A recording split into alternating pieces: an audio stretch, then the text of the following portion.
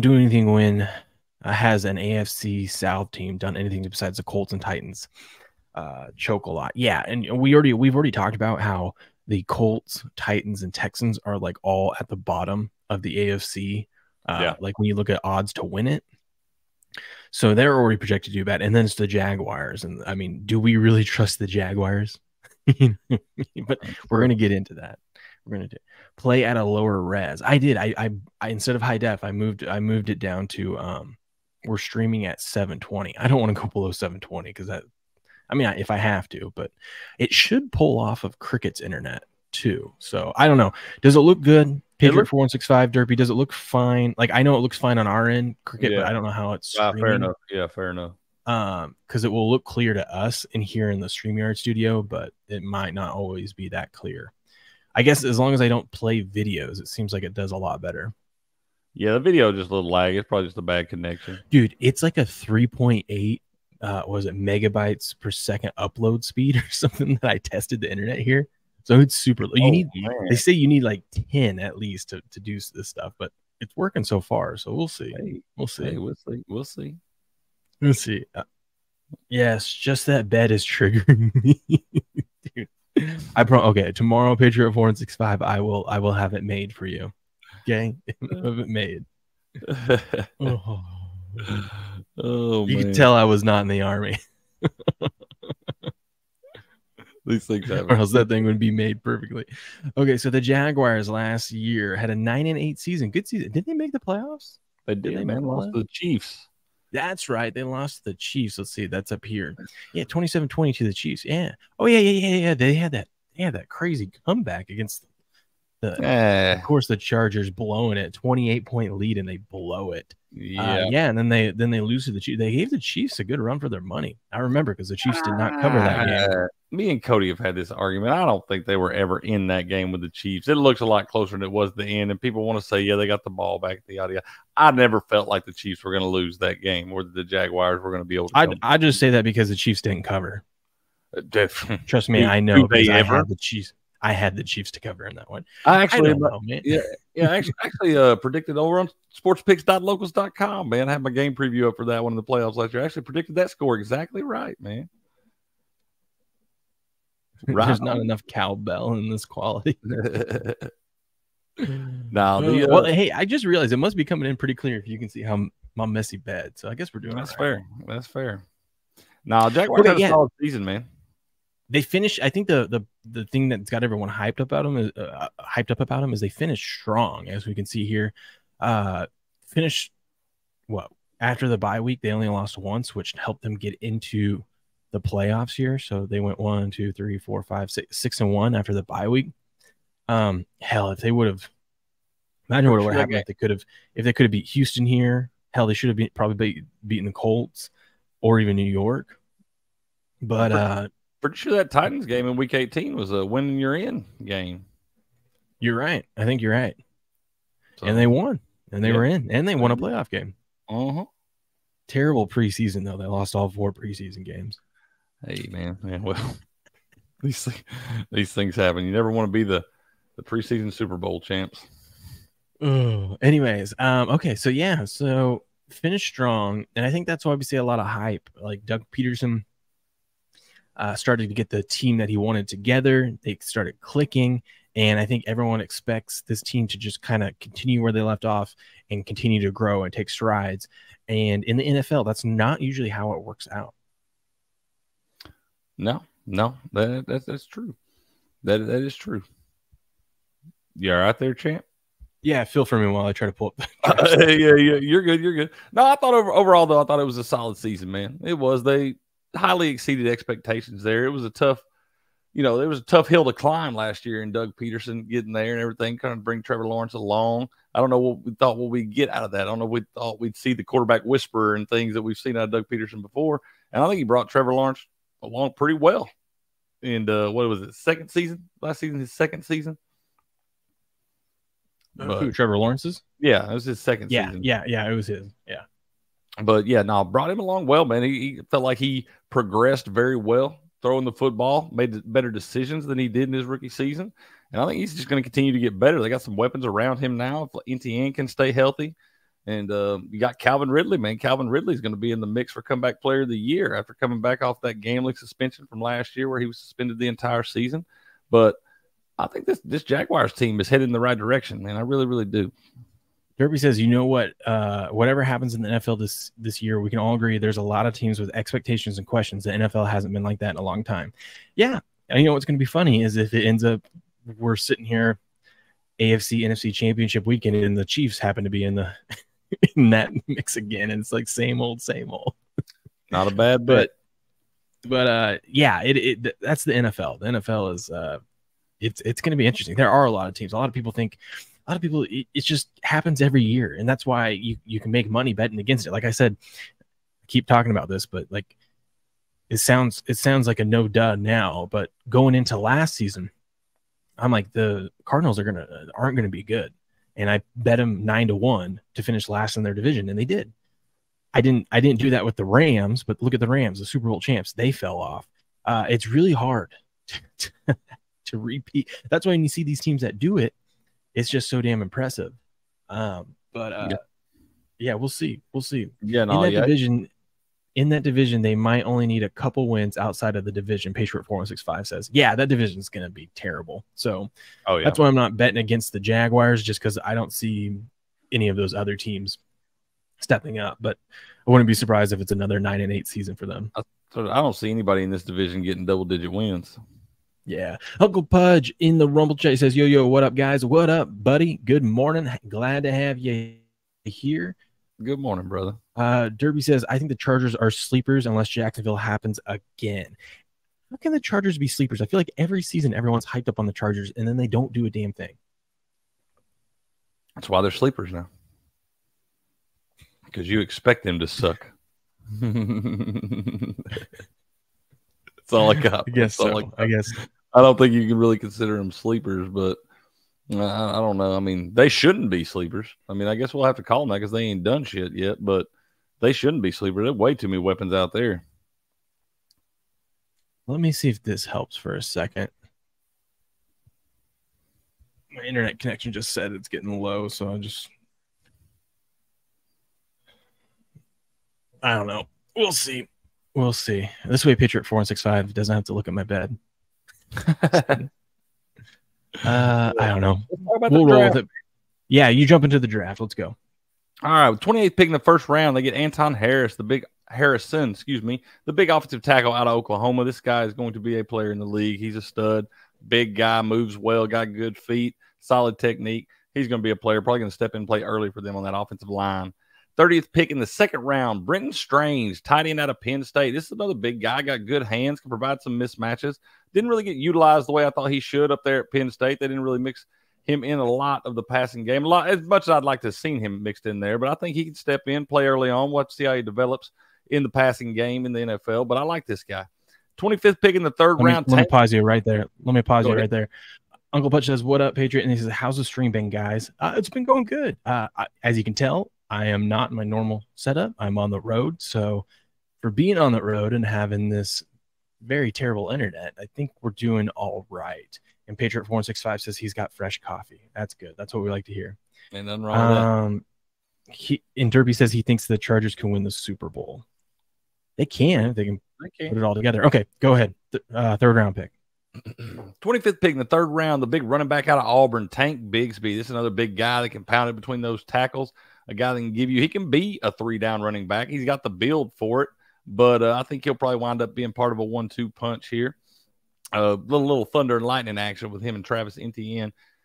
Ventrell Miller, the 19th pick in the fourth round, inside linebacker out of Florida. This guy was pretty hyped, pr- pretty highly recruited coming out of high school and stuff like that. Didn't really pan out as much as you would have thought he would have at Florida, but there's been a lot going on down at Florida. But this guy can be a player. He's an athletic freak. I'm anxious to see what he's able to do. 28th pick in the fourth round, Tyler Lacy, the defensive end out, of Oklahoma State. Another guy that's been chasing those quarterbacks down in the Big 12, that pass happy league out there.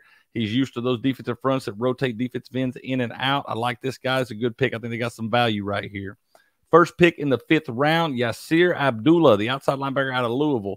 Anybody that got drafted off of Louisville's team last year must be a player because they were garbage. So if you were good enough to get noticed on that team, you must be a football player. So I have to see. I don't know a lot about him, We'll have to see how he does. 26 pick in the fifth round, Antonio Johnson, the safety out of Texas A&M, another SEC guy, raw guy that can be developed at the next level. Eighth pick in the sixth round, Parker Washington, another wide receiver from Penn State. They like those Penn State guys.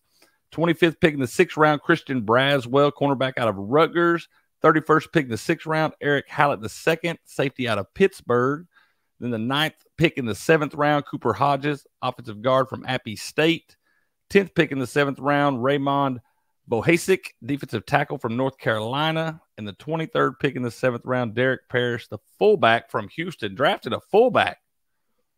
Holy moly, Hell donuts. yeah. Love it. Hell Had a lot yeah. of picks there, man. Got some solid value. Got some uh, big time SEC guys. Got a lot of big time college guys. A lot of Division One guys. The only one I see there that was not was the and Appy State's even D one now. I'm going back to the old days, but yeah, I mean, solid draft, man. Solid draft. Had a lot of picks, a lot of uh capital there, draft capital, and I think they filled some needs here. I like I I like the first round pick going with um offensive uh lineman to protect your quarterback. I think I always like it when teams do that, protect your own quarterback. And then if you got all those pick at the end of the draft, go for it. You know what I mean? Yeah, like they, they just If one of them works out, hoping- one. that's that's that's what you're hoping for. Uncle Pudge says, "What do you guys think the Jags need to do to have a chance for the playoffs and maybe the Super Bowl?" Well, for the playoffs, I think that's all they got to do is win the much. division, which is highly likely. They're only they're one of I think only two teams that uh preseason are favored to win the division. Like uh odds on favorite. Like you're not getting plus odds, you get negative odds on them. Um so the I Chiefs are the other one, right? eh, no, the Chiefs are plus money, I believe. Really? They're Um, like 165 or something.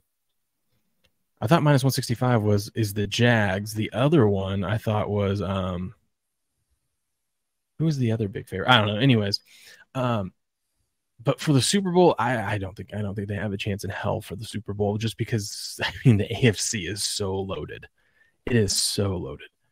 You would Yeah. have to you would you would have to have the number one seed. If they if they got the number one seed, then which means they'd have to have like a 13 and in four season or or Yeah. 14 and three season. they're going to wind up having to go on the road. I don't see them getting that. Obviously, they're to have to go on the road, to either Kansas City or Cincinnati, somebody like that, Baltimore, Buffalo, one of those. You know, I'll let you answer this one. It says, uh, "You think Trevor? Uh, you think Trevor has what it takes to be a Super Bowl QB?" I do. I absolutely do. I think that guy is a freak, man. He's cool, calm, and collected. Really controls his poise in the pocket. Uh, I like what that does. I really liked what I saw at him. I was anxious last year, going into last year. I was anxious to see what I was going to get out of him and how he was going to progress at the NFL level, and if he was going to be able to do that.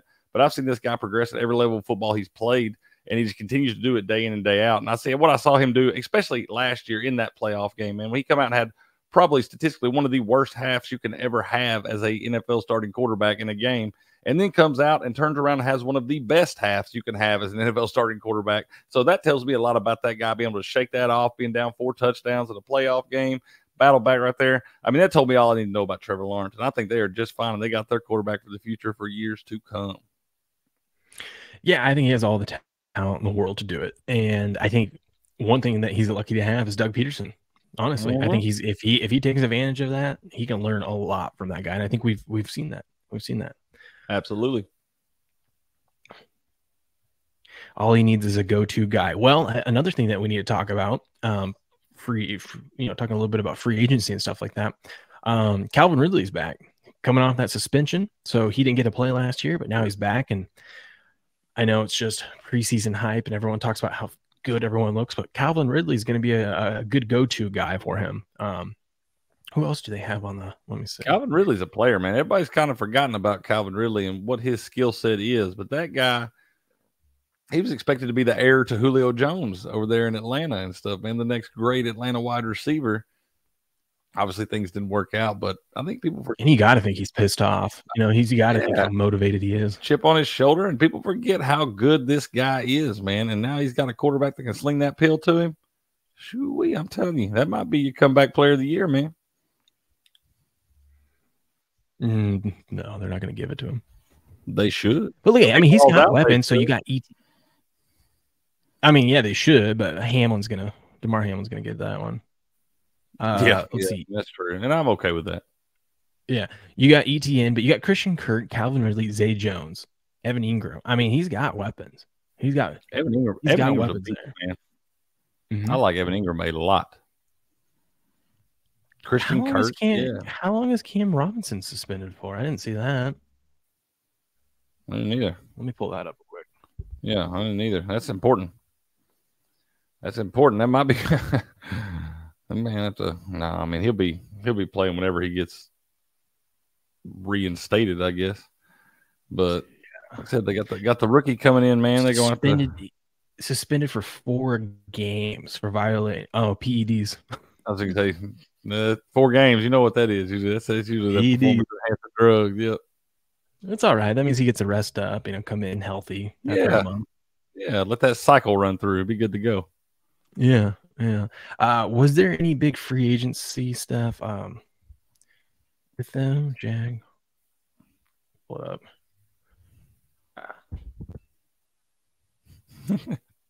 Hotel living, baby. Hotel living. Yeah, I got one screen. I got a mic that I have to hold. I'm not gonna pull it up because it's already it already looks like shit or the thing's are Looking see, like um, Bob Barker up there, man.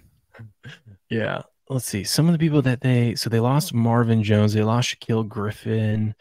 Um who did they bring over? They brought in Brandon McManus from Denver, the kicker. They really didn't they really didn't sign anyone. They didn't sign anyone to a big I was gonna contract. I, I think most of their pieces are in place, man. They like like where they're sitting right now. Did Well, did their cap, they didn't. They didn't. Surprisingly, even with his his uh friendly contract, they don't. They didn't have much cap space because they paid a lot of defensive guys. Like they lost Jawaan Taylor, their right tackle, to Kansas City because uh Kansas City gave him eighty million dollars, um, and then Andre, uh, Arden Key went to Tennessee. Um, yeah, so yeah, they didn't really do anything in in the uh in free agency. No, no, I didn't think I couldn't couldn't remember any any earth changing announcements from them in free agency. Calvin Ridley's the biggest one for me. Yeah, I mean, he was already signed to the team, but he's off suspension, and that's huge. That is huge. Okay, That- let's uh let's get into my favorite part of this. Uh guess the lines. so we got guess the lines with the Jaguars. They open up at the Colts. I bel I believe they're a three and a half point favorite here at Indy. Jags are a three and a half point favorite at the Colts, minus 166 on the money line, plus 140 for the Colts. All right, then they are home against Kansas City. Kansas City four and a half point favorite. Jags plus three at home against the Chiefs, plus 130 on the money line. Chiefs are minus 155. Only pl- I might have to bet that now. I think that's that's when the Chiefs are going to cover. You got to remember, Chiefs are that's a ten day rest for the Chiefs because they open up on Thursday night. Oh, yeah. Yeah, they will be, won't it? Sure. Yeah, and it's only three points. enough. Shit. Easy money. uh, someone knows something. I'm just trying Yeah. to figure out how I'm going to get screwed. Yeah, probably bet. The, I'll probably bet the Jaguars money line. Look at all these home games, but they're not really home. You see that? They have like one, two, three, four, five home games in a row, but back to back London games. They got back to back London games. I'm guessing that's what that, that is. Look, Atlanta and Buffalo, it's Yeah. asterisks and it's uh 6:30 a.m., which usually is a London game. Never seen that before, ever. Me either. I mean, they basically But I mean, that, that is the franchise they've talked about. If they ever moved a franchise to London, they talked about it being Jacksonville. That's the one they wanted. If they were going to move somebody, that would be the franchise they moved. yeah. So home against Houston, I bet they're eight, eight and a half point favorite against Houston. Uh, Jags minus seven at home against the Texans, minus 305 on the money line. Texans plus 245. Okay, and then London with Hotlanta. Um, I don't think it's the same location. I think they're playing at a different spot, but it's it's relatively nearby. Yeah. Um, Soccer stadium. uh, neutral Jags three and a half. Jags minus four against the Falcons, minus 185 on the money line. Falcons plus 154. Gotcha. And then neutral with Buffalo. Buffalo three point favorite. Jags plus three and a half, three and a half against Buffalo, plus 142 on the money line. Bills are minus 170. Interesting. All right, and then they come back to this. This might be a spot to fade them here after being abroad for a couple weeks. Uh, home against the Colts, who at the Colts they were three and a half point favorite. So I'd say six and a half point favorite, but then I don't know how the market's going to adjust for the the London games, but six and a half point favorite. You're right on the money, sir. Jaguars minus six and a half at home against the Colts, minus 265 on the money line. Colts are plus 215. Gotcha. And then at New Orleans, uh, one point favorite on the road there. Uh, no, they are one point dogs on the road of the Saints. Jaguars plus one at Ooh. New Orleans, minus 105 on the money line. Saints minus 115. Patriot 415 is predicting a four and two start. I'm guessing the only losses being to Kansas City and Buffalo. Um, then at Pittsburgh, one point favorite at Pittsburgh. One point dogs again. Jaguars plus one at the Steelers, mm-hmm. minus 102 on the money line. Steelers are minus 118. And then probably by that point, a much needed bye week. And then home against San Francisco. Ooh, uh, pick them. Jaguars plus one at home against the 49ers, minus 105 on the money line. Niners are minus 115. Then home against Tennessee. Six point favorite. Jags minus five at home against the Titans, minus 205 on the money line. Titans plus 170. Okay. And then they're at Houston. Um, four point favorite. Jags minus four and a half at the Texans, minus 198 on the money line, plus 164 for the Texans. Then home against Cincy, I'm guessing two point dog. Jags plus one at home against the Bengals, minus 105 on the money line. Bengals are minus 115. And then at Cleveland, I'm going to say they're a one point dog in Cleveland. Jaguars plus one and a half at the Browns, plus 105 on the money line. Browns are minus 125. They got to do that to me, huh? That's I got to do that to me. The time I'm like, okay, well, they've been one point dogs in all these other games. Let's go one. And they go, hit nope. you with the hook. Get that hook. Get that hook. I'm getting that hook worse than Tim Anderson got over the weekend. Woo-wee. Home against Baltimore, uh, one point dog against Baltimore. Jaguars minus one at home against the Ravens. Ooh, their favorite on the money line. Ravens are minus 105 at Tampa Bay. Four point favorites at Tampa Bay. Jaguars minus three and a half at the hapless Buccaneers. Minus 180 on the money line. Bucks are plus 150. Home I don't think my Bucks are going to be favored in any game this whole season. Probably not. Home against Carolina. Ah, actually, don't they play Arizona? That might be an interesting one. That's true. Pick them. play it on the moon. Whatever. Uh, That's the game nobody wants to fucking see including me, and I'm a fan. You probably couldn't give me tickets to go to that game. if I'm being serious. Well, yeah, because uh, that means you're missing out on all the other games that are going on that week. Right, and those cool. That would not be. We were talking about that this weekend. So, so uh, my wife and I were talking about this weekend. If someone gave you, let's say someone gave you really, really nice season tickets, would you would you take them? I mean, or they're giving okay. me really nice season tickets. I mean, absolutely. Actually, I guess that's not exactly how it was. You'd have to pay for them. Either way, I said I wouldn't want season tickets because that means half the season you're at the stadium. Because you would, if you paid for them, you would want to use them, right? Well, you just sell uh, them. You sell some and make your money. Back. Yeah, yeah, but still at the same time, I'm like I would go once, I but would. I enjoy sitting down and watching Red Zone and and all that. So I I I, I have way more fun watching the games at home than I would, to, going to the I games. Would much rather have season tickets to the Vols than I would the. But now, obviously, the driving is much a lot quicker for me to get to Knoxville than it is to Tampa. But uh, if I had the choice and was able to get there, I would rather have season tickets to to the Vols over the Bucks. There's there's no way anyone sleeps in here. There's a huge ass garbage truck right now lifting up the it's loud as shit right out this. Uh, no, nobody's sleeping around here, man.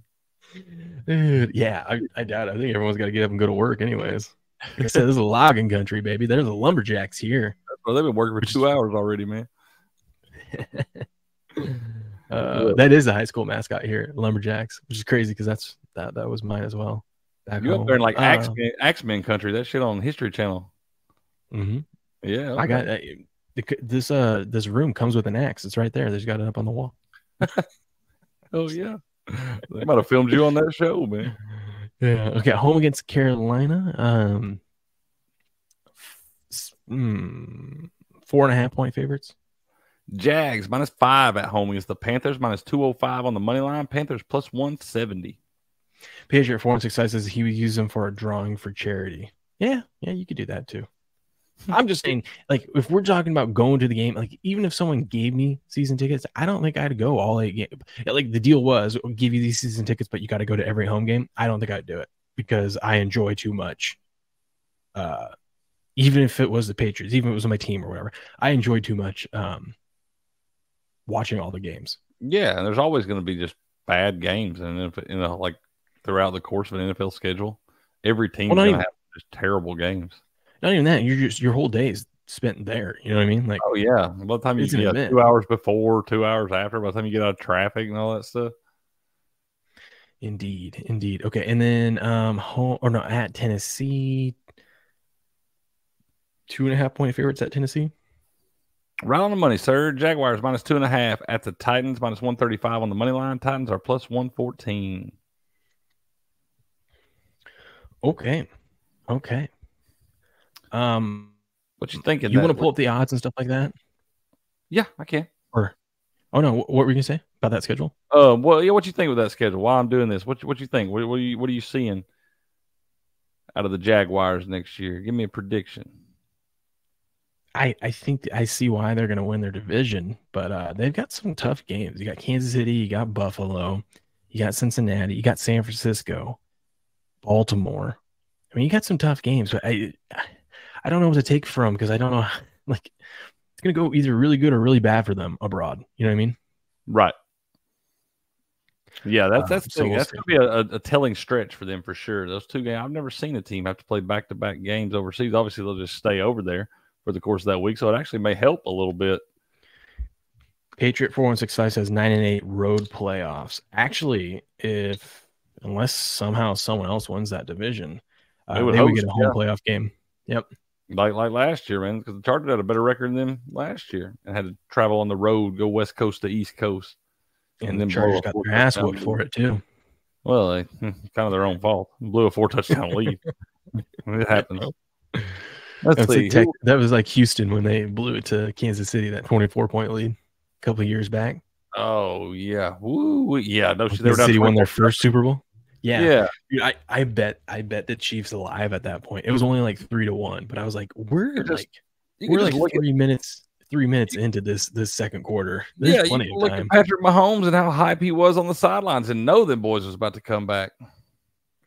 Yeah, no, that was uh, I remember watching that game live. Yeah, wee. Spot on 24 points, still spanked them.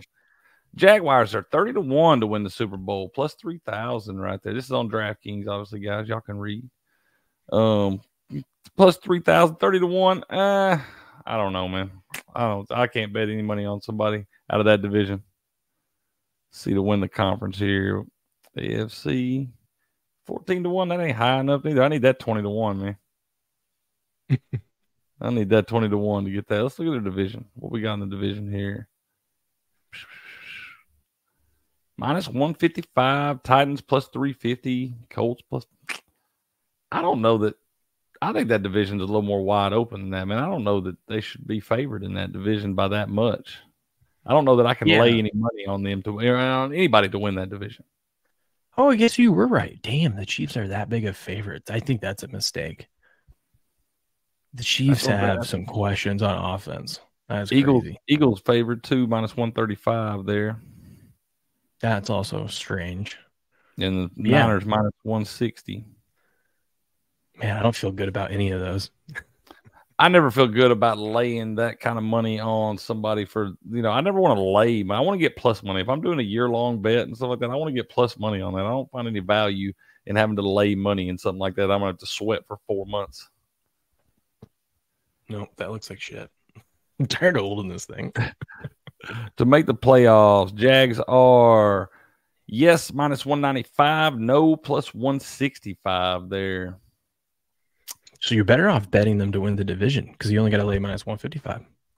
Yeah, exactly. They're not going to make the playoffs if if if they don't win the division. No, no, no. Yeah, so you're much better off just go ahead and bet in the division right there. If that's your cup of tea, like I said, I'm not going to lay money on that. Let's see wins here. What's their win total set at? I bet nine and a half. Seems right. Nine and a half. Minus 140 for the over, plus 120 under nine and a half. So what's over 10 and a half? Click that 10 and a half. Let's see what that is.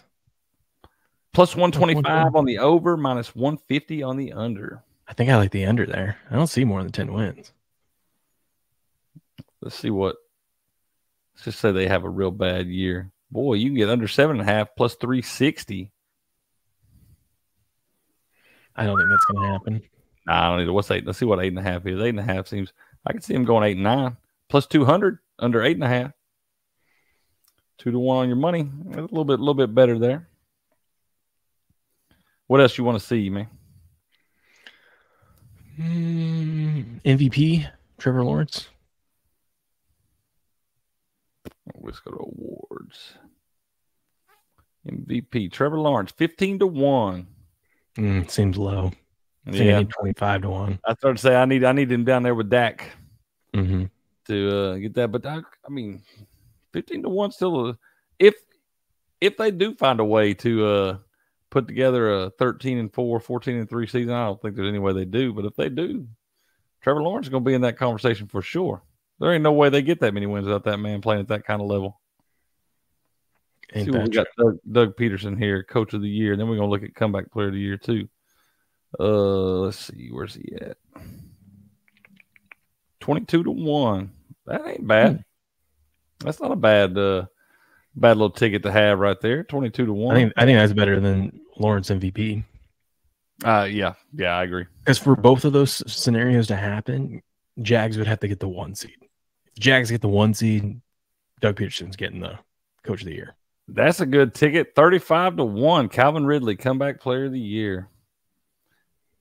Ooh, Hamlin's odds came they're, they're, shrinking, ain't they? They're shrinking. They were like minus 500. Five, it was minus 550 at one point. Huh. Yeah, they're shrinking on up there. So, okay. Okay. But I like that Calvin Ridley. I might sprinkle a little bit on that 35 to 1. Could have made a really bad joke there, and I'm not going to. I'm not gonna. That's I'm not gonna be. I'm not gonna start off the week that insensitive. That's fair. Yeah, we'll we'll ease into that.